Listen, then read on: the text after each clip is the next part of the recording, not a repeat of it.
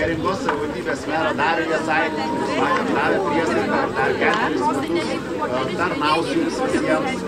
17 savivaldybės tarybos narių, kurie taip pat visi vakar davė priesaiką ir įsipareigojo dirbti jums visiems tam, kad